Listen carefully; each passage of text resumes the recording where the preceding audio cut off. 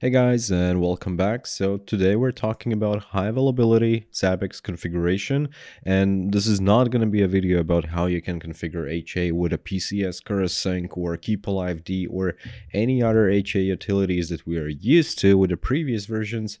Right now we're talking about 6.0 and the Zabbix 6.0 LTS also added a new functionality, high availability cluster which is a native one so no need for third-party utilities tools extensive Linux configuration whatsoever.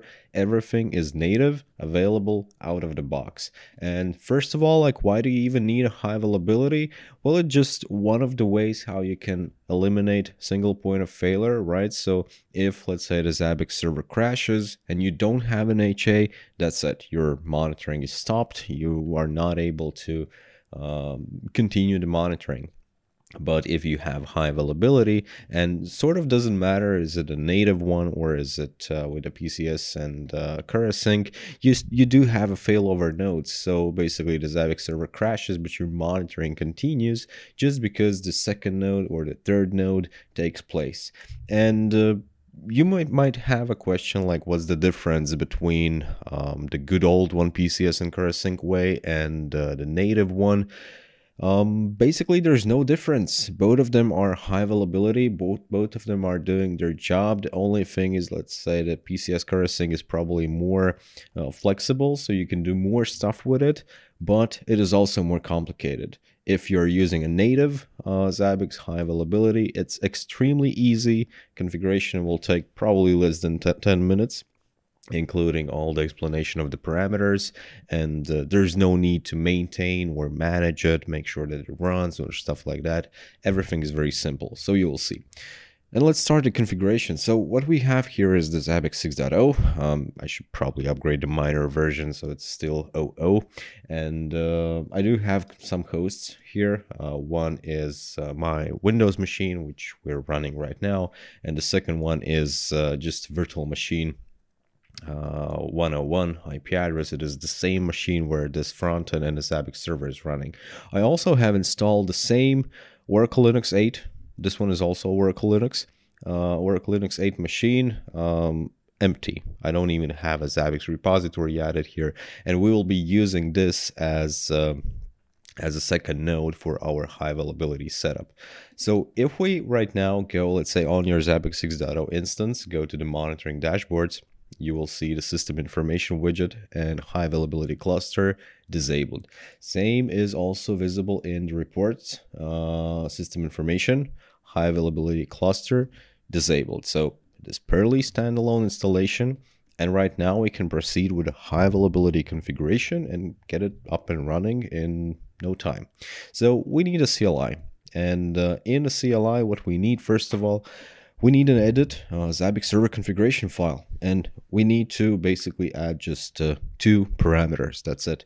No need to install any third-party tools dependencies whatever. Just uh, vi at czabix go right to the bottom of the config file and you will find high availability cluster parameters. And yep there are just two of them ha node name and node address.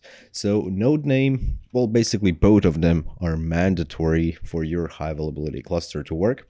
And uh, first one is node name. You can um, you can write whatever you want here. This will be just used as a name representation, but this parameter is mandatory.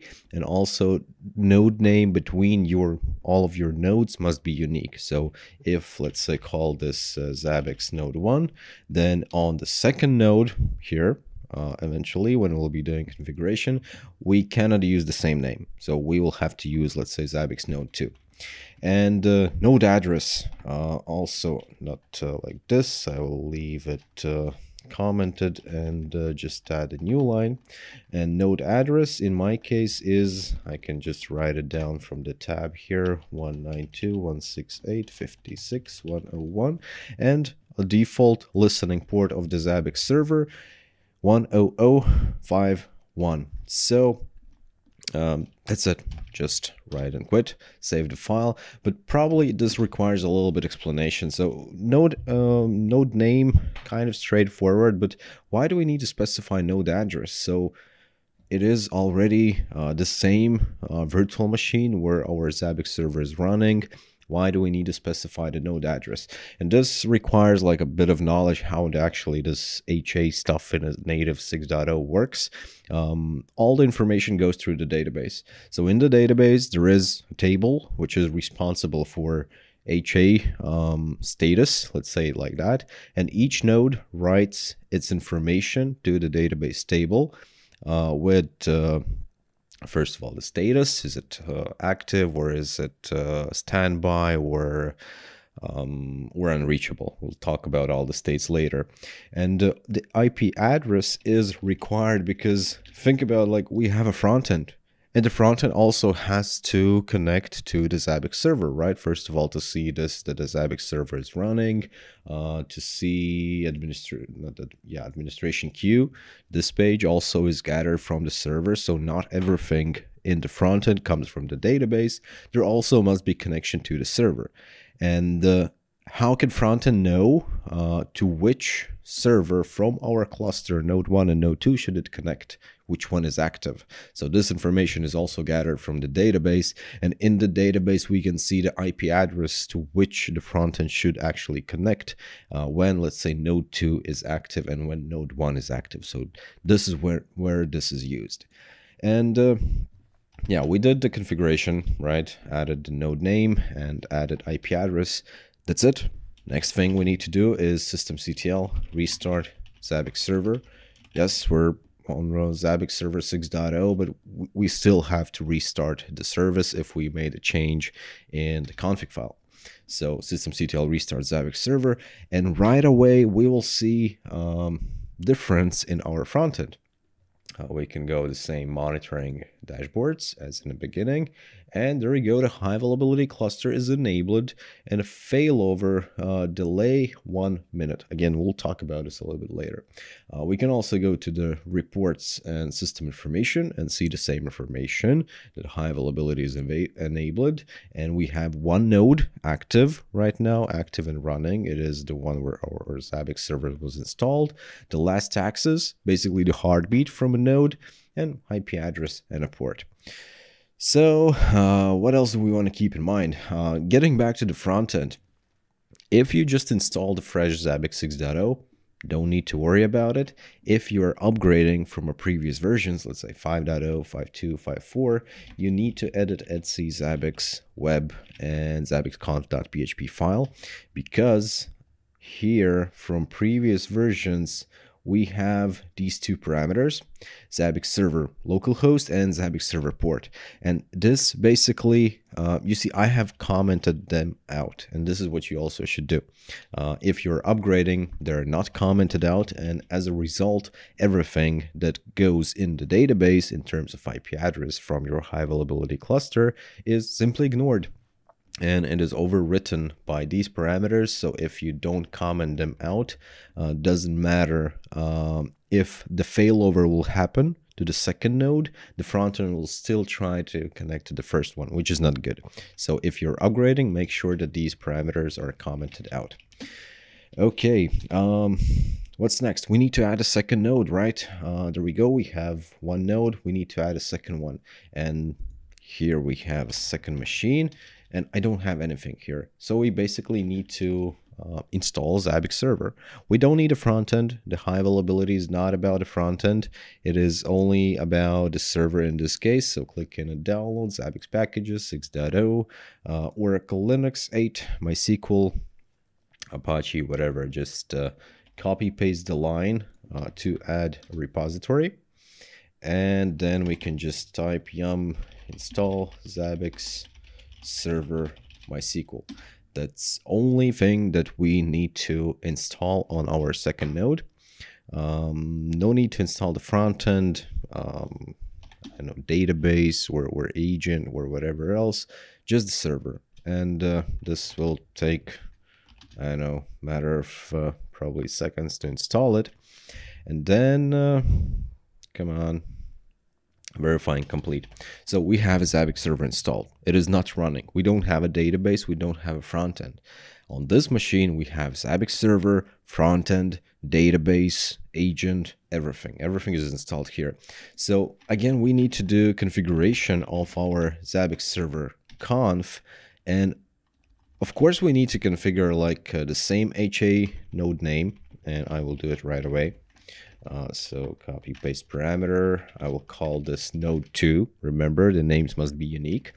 And for the node address, I will use again IP address from um, tab name 192.168.56.102 and this is 101 but this is not it. So we also need to configure database configure database parameters right? Remember? So uh, db host is not a local host. We don't have a database here on this virtual machine. It is running here.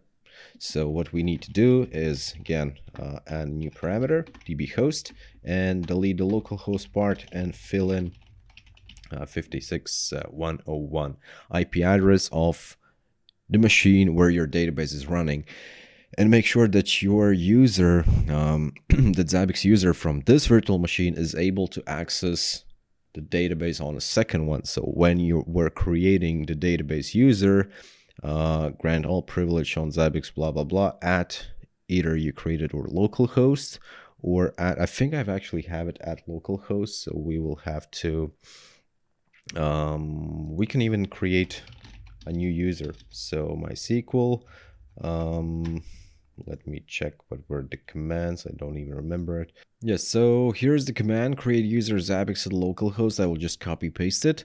And you see we have here at localhost and it means that I can connect to the database with this user only from a local host, not from my second node. So we need to fix it. And I will copy, copy paste it. I will create a new user called uh, Zabbix2. And instead of localhost, we need to specify the IP address of the machine from which we're actually going to be connecting. Uh, change the password if required. So query OK. Then we need to grant all privileges on our Zabbix database. So again, copy paste at, don't forget about IP address 5168.56.102 and uh, user is Zabbix2. There we go. So this part is done. And now we need to, again, edit uh, the config file of the Zabbix server on our second node. We already have IP address of our database. DB name is Zabbix. That is true. DB user is uh, Zabbix2. Remember, we just created it. And DB password, as usual in all the demo installations, is just Zabbix. That's it. So yeah, let's check once again. Yeah, in the bottom we have the node address and node name is Zabbix node 2. That's it. And basically, that's it. Basically, we need to start, I hope it works, uh, systemctl start uh, Zabbix server. And the Zabbix server is started. We can check the log file Zabbix server log, and we see that only the high availability manager node uh, manager process is started. Node 2 started in the standby mode. So this is one of uh, few uh, ways how you can check the current status of the node is just check amount of the running processes and you see there's just one uh, Zabbix server HA manager. And if we would go to the front end and refresh right now, there we go. We have two nodes. Uh, one is active, one is standby, and they both are sending the uh, heartbeat. So every, I think, five seconds. And uh, yeah, that that's the way how we know that uh, the node is uh, reachable, right? And if we go again back to the documentation here, you see that we also have a new runtime commands managing HA clusters. So with the commands, this is the way how we manage it. Uh, first of all, HA status. And uh, we can go here and uh, how we do that, runtime commands, which means Zabbix server minus capital R for runtime command and HA status. This is information about our recurring nodes. This is the ID, um, just uh, order number or whatever, name, IP address, status, last access. We can remove the node if we decided that, okay, this one standby node is, um, I don't know, decommissioned. So we can remove it and uh, run the com command ha remove node. And I think you need to use this one. So number one, not the ID, but I may be wrong. Um, and a set failover delay. So default one was one minute. And what does this mean? So what could happen? We could have a situation when this node one crashes. We clearly see that the node is dead, Zabbix HA Manager notices that, and the failover happens to the second node. But we could also have a situation when the node is up and running, but for some reason connection to the database is down. And uh, this is a case when node could become unreachable when uh, this last access, the heartbeat, is not available, not updated in the database for the time period threshold set as this failover delay. So by default, if the network to the database is down, uh, then after one minute, uh, this active node will become unreachable, not standby, not active, unreachable. And the second one will take its place being an active node. That's it. That's all the configuration part of the native high availability uh, inside Zabbix. And the last part that you need to keep in mind is, okay, how can I connect my agents to high availability cluster in a Zabbix? So basically you need to edit a Zabbix, sorry, agent config file. And uh, we have a server parameter, this one, right? And uh, remember server parameter means IP address from which we will actually accept a connections uh, from which Zabbix servers we're going to accept the connections. So this is pretty simple. You just list both or three or four or five nodes of your Zabbix server clusters that you have uh, 192.168.56.101 and same with 102. That's it. Now, doesn't matter which node is going to be active, either 102 or 101, the agent will accept connections from it. And for the server active, here You see, there's also an examples for uh, high availability. You need to use a semicolon, not a comma, a semicolon in between, and that's it. So again, I will change the local host to 192.168.56.101, not a comma, semicolon, and a second node, 56.102. That's it. That's all the configuration to make your agents work with uh, high availability cluster of your Zabbix. And uh, that's it for the video. That's how you can configure native high availability. Thank you for watching. Leave a comment, press a like, subscribe as usually, and see you in the next videos. Uh, goodbye, and thank you for watching.